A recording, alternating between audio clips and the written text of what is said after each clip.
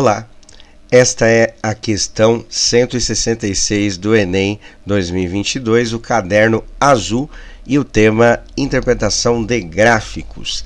Antes de iniciar a resolução da questão, gostaria que você se inscrevesse no canal, caso não seja inscrito, e divulgasse o conteúdo aí de matemática do Enem é, para as pessoas interessadas aí nos temas de matemática, se preparando para o Enem 2023.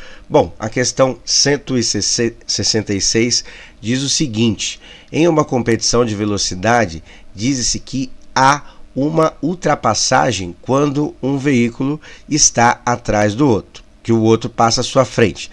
Ambos, com ambos se deslocando no mesmo sentido. Considere uma competição automobilística entre cinco é, carros Tá? Tem cinco carros em uma pista com 100 metros de comprimento, em, onde todos largam no mesmo instante e na mesma linha.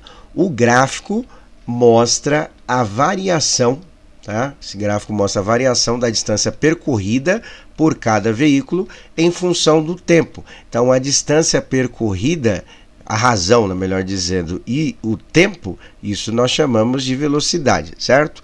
Durante toda a competição. Então tem aí os gráficos, tem o tempo, depois a gente volta aqui no gráfico para saber o que, que ele vai pedir.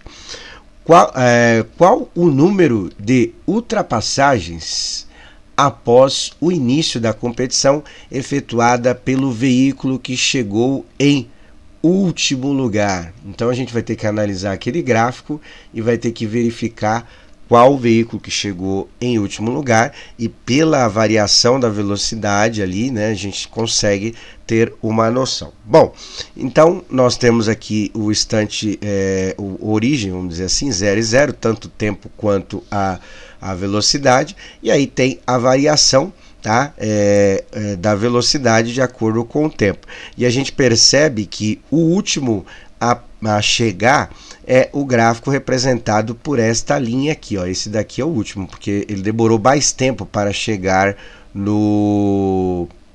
no, no é, para terminar né, a, a o comprimento da pista. E aí a gente percebe o seguinte, ó, tem uma pegadinha aqui na questão. A gente percebe que existe dois é, pontos que um, um o, o gráfico ele encosta nesta função aqui que está parecido com uma função exponencial, essas duas aqui. Mas o que, que acontece? Ele ultrapassou ou foi ultrapassado? A gente percebe que ele manteve uma velocidade constante e que esta, essa, essa velocidade aqui ela aumentou e essa daqui também aumentou. Tá? Então significa que ele não ultrapassou, ele foi ultrapassado por esses dois aí do, ao decorrer da, da competição.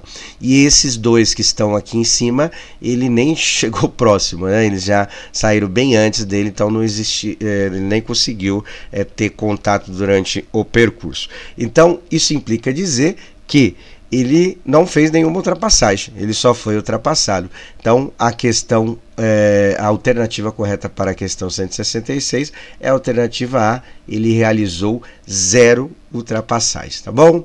Então é isso para a questão 166. Um abraço a todos, até!